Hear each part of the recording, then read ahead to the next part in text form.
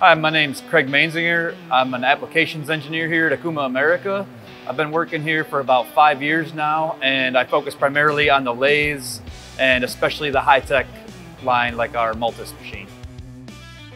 A lot of people go to concerts, you know, a lot of people are fans of music of some sort or another, so the guitar is easily recognizable to people that may not be familiar with manufacturing otherwise.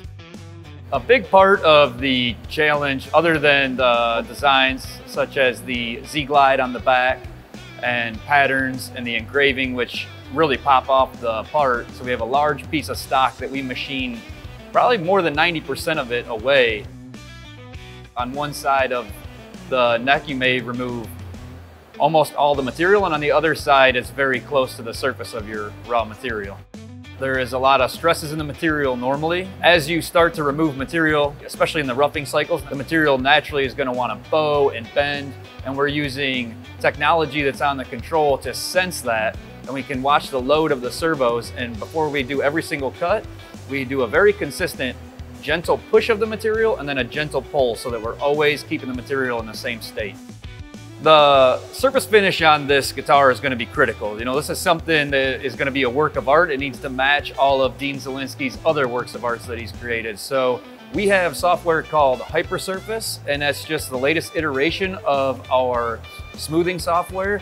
And we end up with a very nice, almost polished looking surface for both our engraving and our contours. One of the challenges we found when we were roughing our stock down is as we were cutting on it, we were using a tool path strategy that kind of put equal loads along the part and down into the part. And we were able to use the OptiRough out of Mastercam to put a lot more side load on the tool, which then actually directed all the loads towards the chuck instead of into the workpiece. Switching from the initial tool path we had to using the OptiRough toolpath was very straightforward and that quieted right down and we were actually able to remove a lot more material quicker and quieter. As we've been going through the tooling, there was a lot of planning ahead of time with the whole group and it was done very well.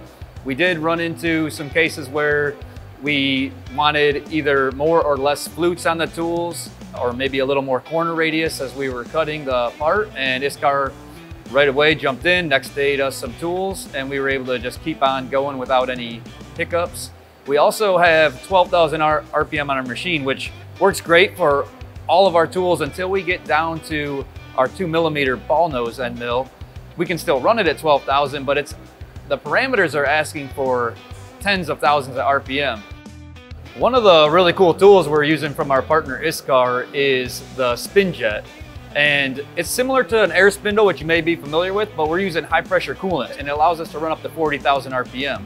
The another benefit of the spin jet over an air spindle is coolant is a lot more dense as a liquid. It's a lot more dense than air is. So instead of a large bulky air spindle, which could lead to a lot of clearance issues, we have something that's about an inch and a quarter diameter. It's metal 3D printed, which is really cool and uh, has a coolant nozzle that blasts it right on the tip of your tool so you're not only spinning your tool, but you're keeping it cool and it's directed right to the right spot.